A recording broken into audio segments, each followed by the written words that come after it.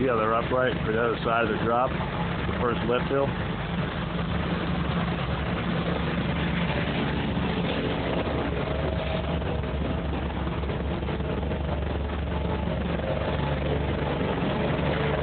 Here's where it goes over the comet for the finishing.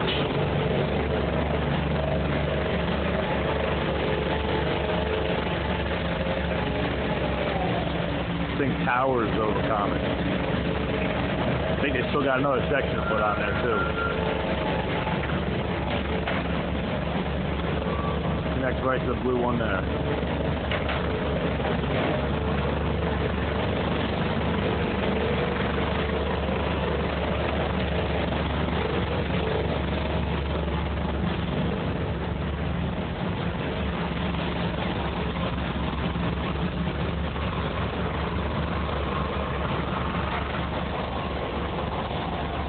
Pretty cool view under the comet.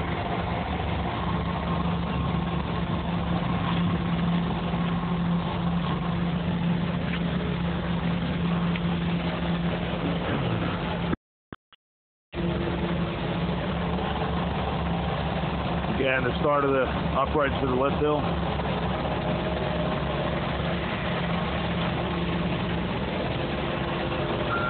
That yellow right there is for the winch foundation.